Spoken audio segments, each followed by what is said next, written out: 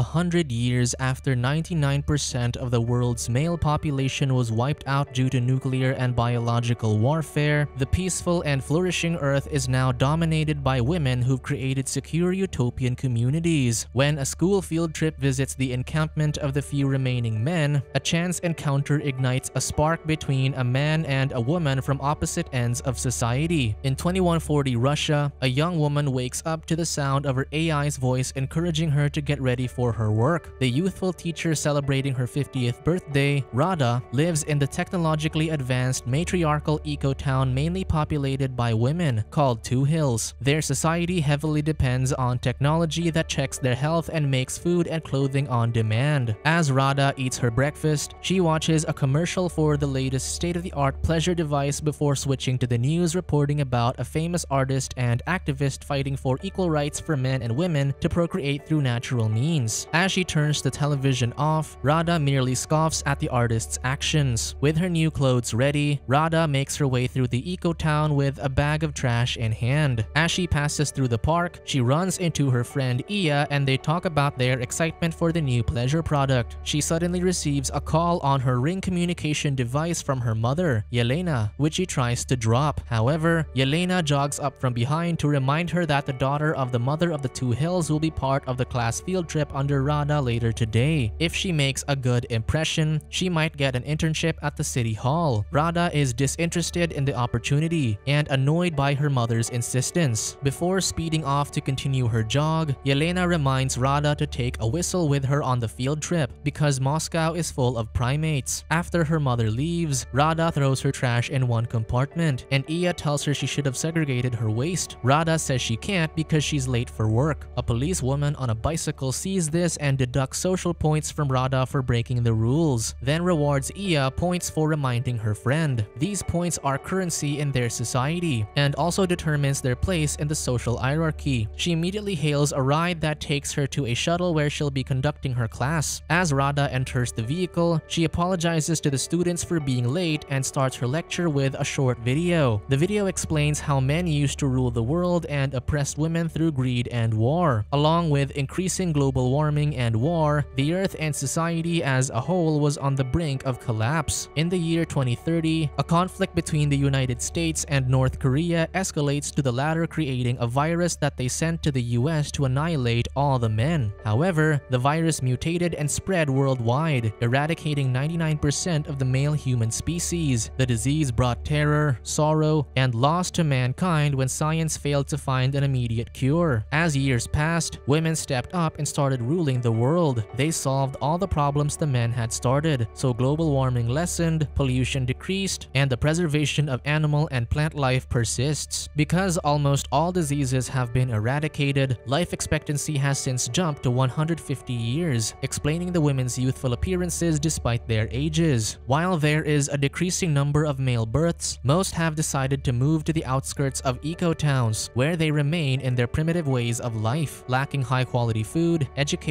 or technology. Beyond the eco-town barrier, the men are loitering around the slums with a few rough-looking women that had joined their colony. Meanwhile, Gira bargains for a crucial computer part, but the man doesn't give in. To fool the seller, he brings out a fidget spinner and acts as though he's contemplating the man's asking price. Intrigued by the toy, the seller foolishly trades for the spinning device with the computer cable, and even throws in a poster featuring a beautiful woman. Hiding a smirk, Gira accepts the items and walks through the slums. Around him are people making do with what they can scavenge, and watching street fights as a means of entertainment. Gira gets home and immediately uses the cable to fix his grandfather's old computer. When it finally turns on, Gira calls his grandfather, and tears of joy well up in the older man's eyes. His grandfather points out the games he had played before, and reveals that Gira was named after his favorite character from Witcher, Geralt. Later, they watch an old romantic movie, and Gira asks his grandfather what love is. The older man says it's the greatest thing one would trade their life to have. Suddenly, they hear a man calling Gira's name, and immediately shut off the monitor. The man, Kirisa, enters the room and excitedly asks if Gira's fixed the device, and if it contains anything he can use for pleasure. However, Gira and his grandfather pretend that the device is still broken. Dismayed, Kirisa tells Gira to head to the gathering because he's needed. Meanwhile, the class stops by by an elevated area overlooking Moscow, where the students take pictures of the abandoned city. In curiosity, Mila asks their teacher why the buildings are so tall and massive. With a smirk on her face, Rada tells them that men built giant infrastructures to feed their egos and compensate for their physical shortcomings, making the girls scoff at the males' idiocy. In the encampment, the men prepare a feast for an important person's arrival. When their entourage finally arrives, the host readies the microphone, piano,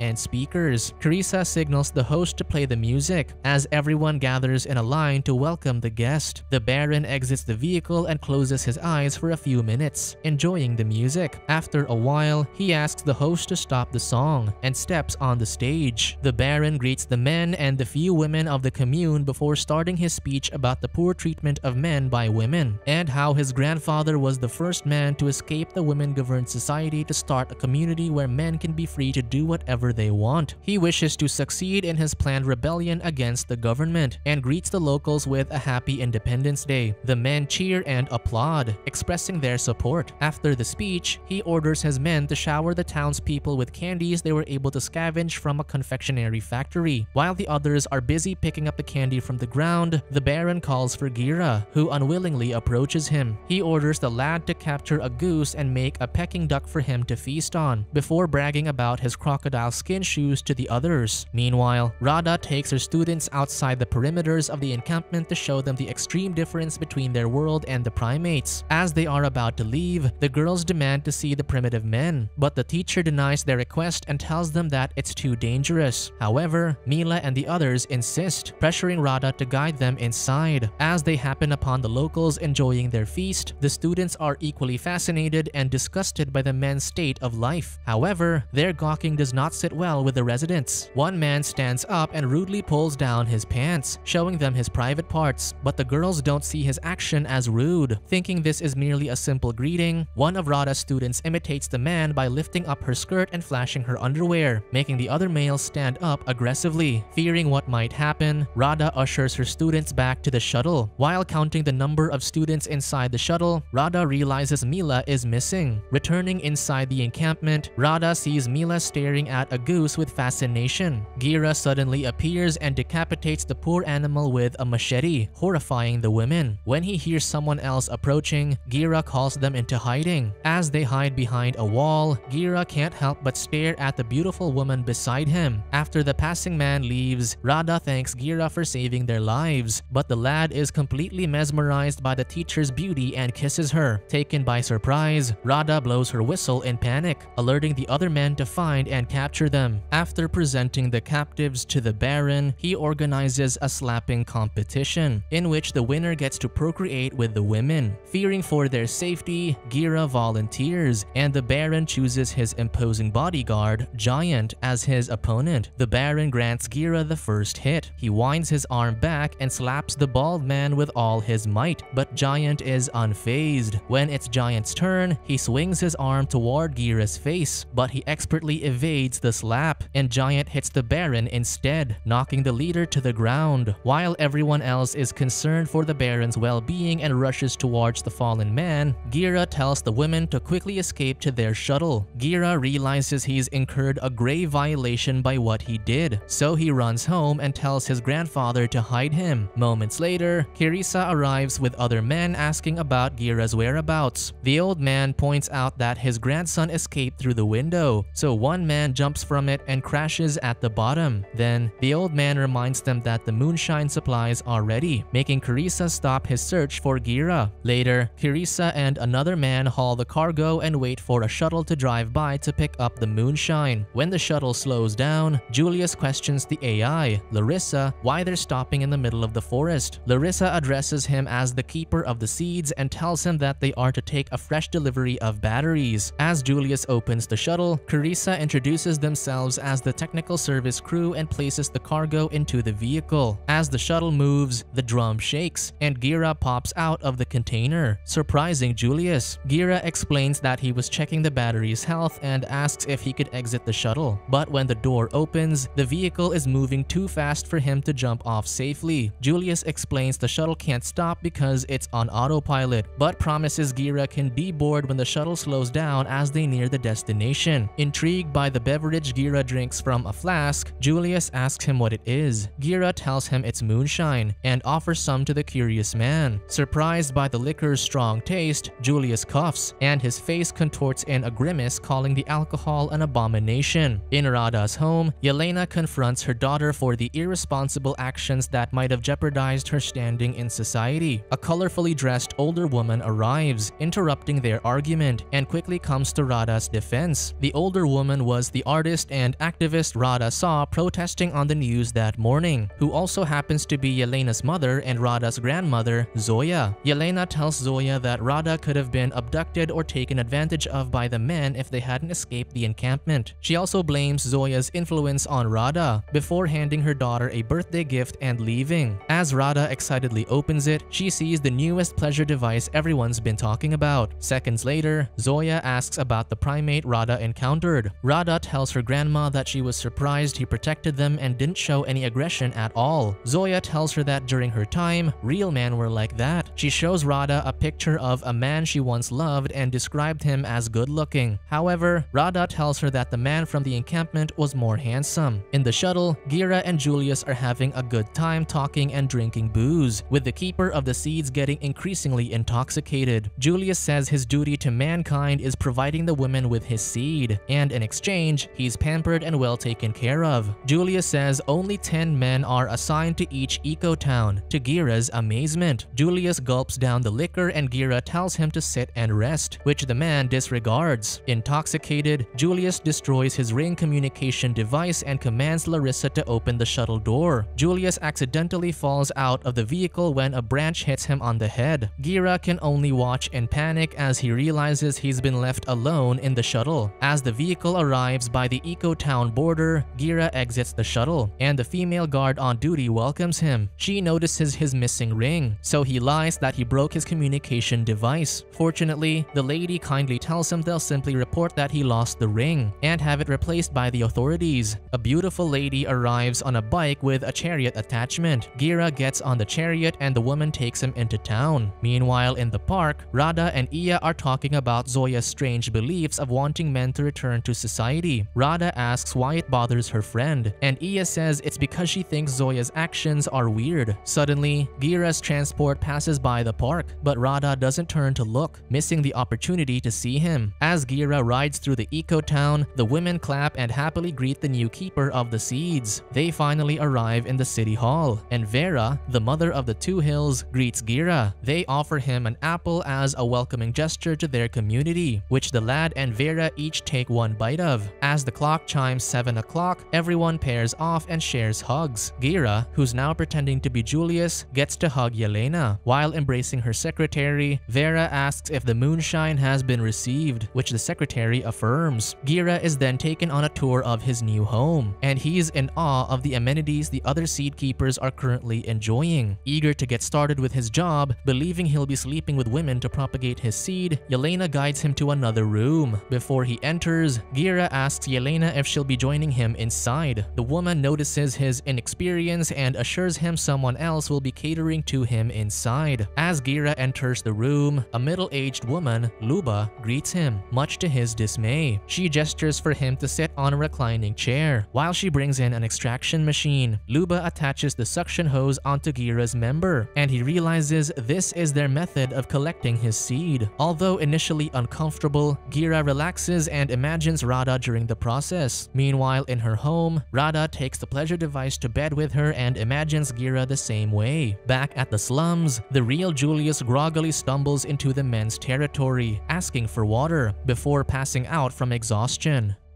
Subscribe to watch more videos like this, turn on notifications and leave a like to help the channel out. Thank you for watching.